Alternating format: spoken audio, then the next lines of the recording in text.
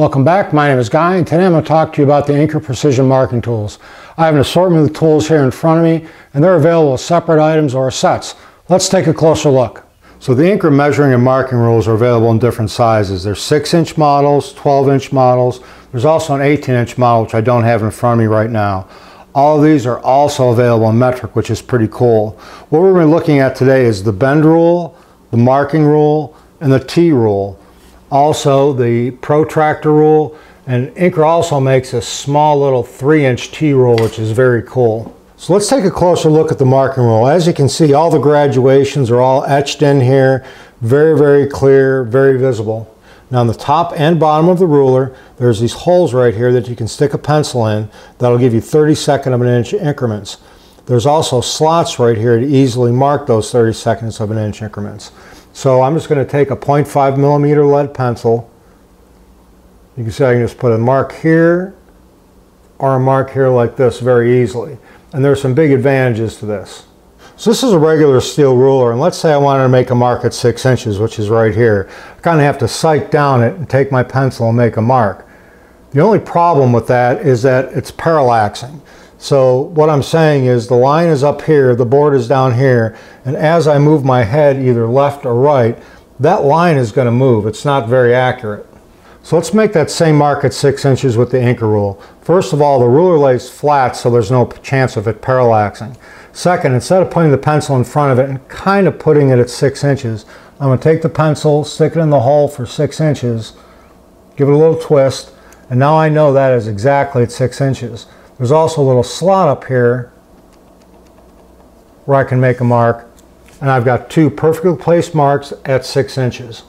Another nice feature of the rulers are the half slots at each end. So I can take my pencil, put in the mark I made before, move the ruler up to that. Let's say I need to make another mark at one inch. I can just take my pencil and make another mark at one inch. Again, perfect. Now this can also be used as a very effective compass. So I've just made a mark right here which is the center of my circle. Let's say I wanted to make a six inch diameter circle.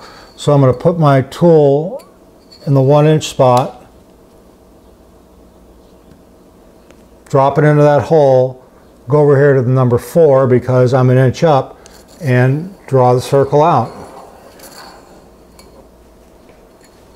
And there you have it, a perfect six inch diameter circle. While these rulers are made out of steel and very, very durable and tough, I've had mine for probably six years now, they're also bendable. So if you cut the circle out and wanted to make some very accurate marks at specific points on this, you could do that very easily with this. Let's take a look at the bend rule. This is pretty cool, obviously, because it can wrap around a corner. Now, feature-wise, it does have holes marked every 32nd of an inch along the top and bottom, and also slots at every 16th of an inch.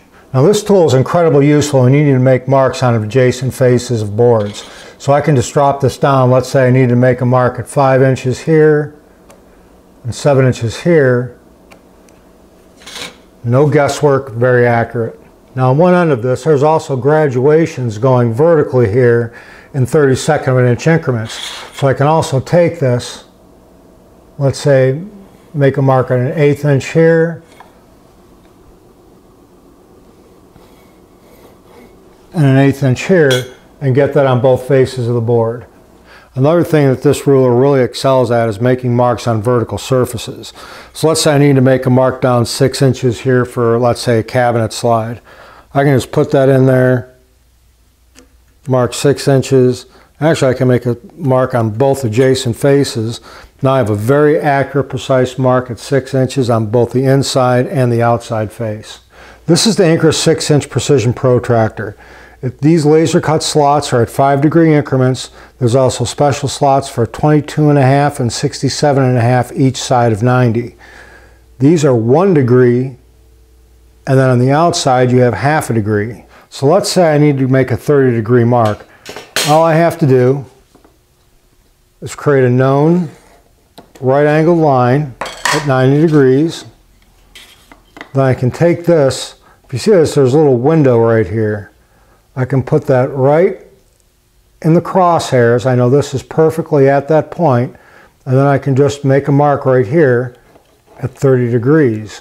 Now that I've got my 30 degree angle marked out, I can just take my ruler line up those points, draw a line, and I know that's perfectly 30 degrees from that point there. So not only does this Precision Protractor allow me to make very accurate, precise layout lines, let's say at 30 degrees, I can also use this to set up my equipment, which is something I do all the time. So I can just take my bevel gauge here, loosen it up, and set it at 30 degrees. Now I can take this over to my table saw, my miter saw, even my joiner, and set up that fence at a precise 30 degrees. Let's say I need to make a 30 degree mark off this line, but let's say it's one inch up and I don't have this edge to reference it off of anymore. So let me make a mark one inch. Now with these nuts here, I can take off the T-bar completely. Now with the T-bar taken off, I can take this line here and this line here and use them as a kind of a crosshairs. Look through these viewfinders built into the protractor head, line everything up, which is really easy, and make a mark at 30 degrees.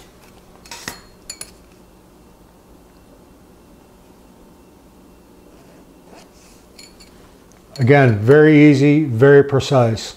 Next up is the Precision T-Rule, and this is by far the most used marking tool I have in my shop. And like the other products I showed you before, there's multiple holes and slots to mark out different things in here. Let me zoom in a little bit closer and I can show you exactly what all these are. Now looking at this, you can see there's holes here marked for 30 seconds of an inch. There's also slots for 30 seconds of an inch and 16ths of an inch and actually it can go down to a resolution of a 64th inch. There's also a vertical scale going this way in 30 seconds of an inch and a horizontal scale going this way in 64ths of an inch. One of the nicest things about using this is the efficiency at which you're able to make marks at. So let's say you want to make a mark at a half inch, then a one inch, and then another one at three quarters of an inch. You're not taking a combination square and moving it around and trying to get all those different measurements. So let's say I wanted to make a mark at a half inch. I just find the slot for a half inch. There you go. And let's say I want to make it one inch. And then I want to make it at three quarters of an inch.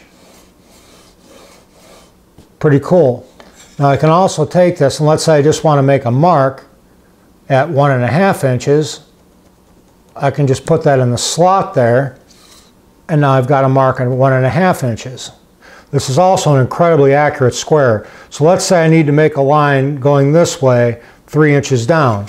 All I need to do is this, make a mark here at three inches,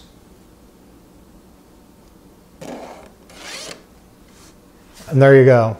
I can also take this and just mark down, let's say, two inches, and go across this way that would accomplish the same thing. Now let's say I need to make a mark to drill a hole that's one inch down and two and a half inches over. I can just go like this, go to two and a half inches, go down one inch, and I know that right there is exactly where I need to drill the hole. So I'm going to take the T-rule I'm going to show you how efficiently, how precisely I can mark out a mortise in this board here without using a combination square or anything like that where I've got to make multiple setups.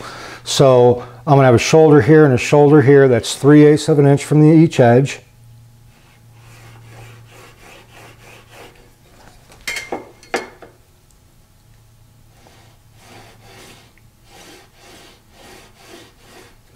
Now the board that's going to attach this I know is two inches deep and I'm going to have a quarter inch shoulder on that side. So I need to mark one and three quarters.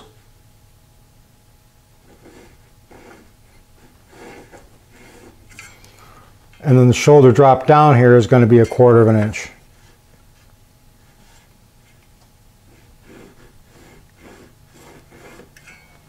And this is the material that gets wasted away.